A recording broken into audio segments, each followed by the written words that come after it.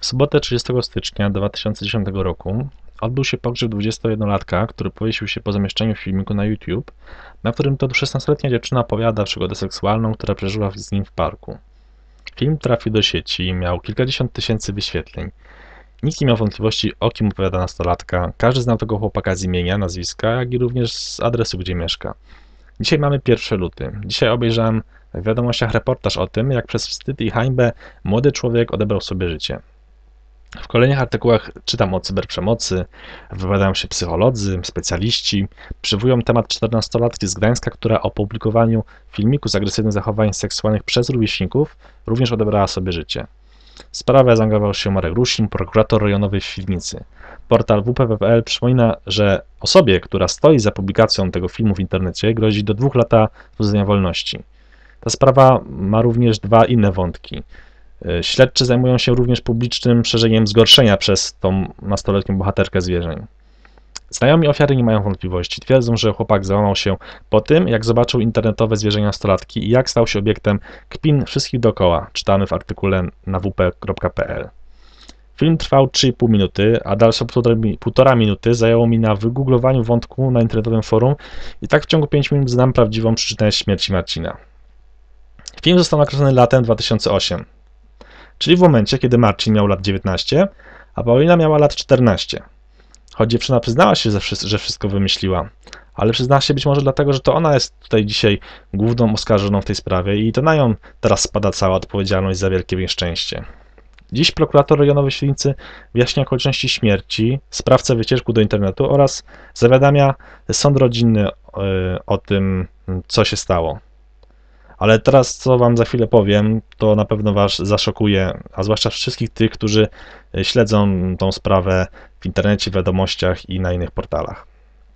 Gdyby Marcin nie popełnił samobójstwa, to ta sama prokuratura w Świdnicy, być może z tym samym prokuratorem, po 48-godzinnym zatrzymaniu Marcina w Izbie Zatrzymań w komisariacie w Świdnicy wręczałby sędziemu wniosek o zastosowanie 3-miesięcznego tymczasowego aresztu wobec podejrzanego Marcina o dopuszczenie się innych czynności seksualnych z małoletnim poniżej lat 15, to jest o przestępstwo z artykułu 200 kodeksu karnego zagrożonego karą pozbawienia wolności do lat 12. Zanim dwunastoletnia Paulina przyznałaby się, do, że wszystko wymyśliła, zanim biegły psycholog orzekł, że zeznania małoletniej są niewiarygodne, że historia opowiedziana w filmie to łęska fantazja, zanim świadkowie by wszystko pozeznawali, zanim by Marcin został poddany badaniom psychologa, seksykologa i innym badaniom, odsiedziałby pewnie trzy miesiące w areszcie śledczym jako podejrzany o przestępstwo z artykułu 200. Tutaj chcę Wam przytoczyć taki fragment filmu, symetria, w którym to jest taka scena, kiedy e, przychodzi mm, mężczyzna podejrzany również o to samo przestępstwo, czyli współżycie z nieletnim i jak to ci to współwięźniowie e, po prostu mordują tego podejrzanego. Również cała rodzina oskarżonego, w cudzysłowie, odczułaby piętno, że członek rodziny jest podejrzany o współżycie z 14-latką. Cały strzegom przyszyłby mu łatkę pedofila, a Paulina trzymałaby status osoby pokrzywdzonej. Prasa rozpisywałaby się o kolejnym zatrzymaniu pedofila. Rząd zapewnie zastanawiałby się, jakby tutaj zaostrzyć prawo karne, aby jeszcze ostrzej karać pedofilów. A czy dzisiaj w, w związku z tą sprawą, czy Paulina zostanie ukarana? Zapewnie nie. Możliwe, że ze względu na stopień demoralizacji zostanie e, dozór kuratora.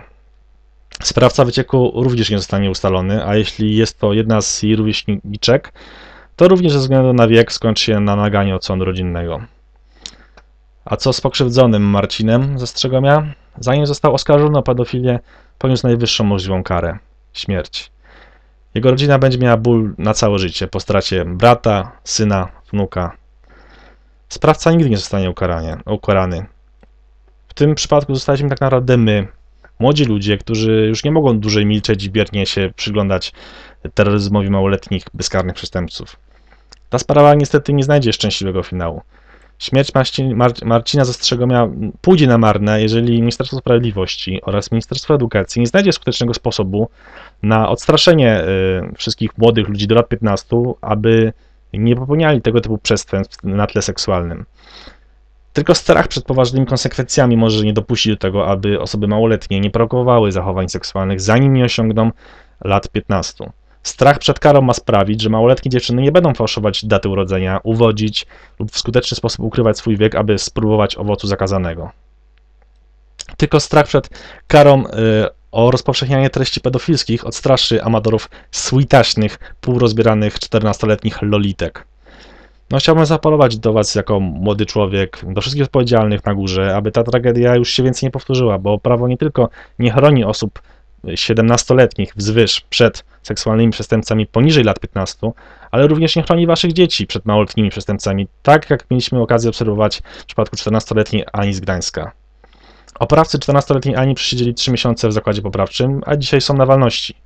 Ale w innej sprawie sąd w Tomaszowie Lubelskim skazał 20-letniego Mariusza na półtora roku więzienia na 3 lata w zawieszeniu za to, że całował się ze swoją 14-letnią dziewczyną, również na podstawie artykułu 200 kodeksu karnego.